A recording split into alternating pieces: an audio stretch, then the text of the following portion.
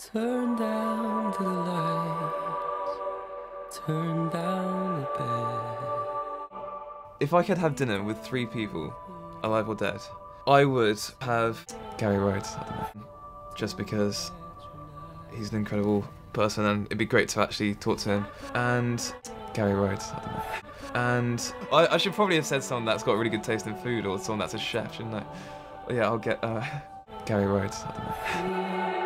Something more.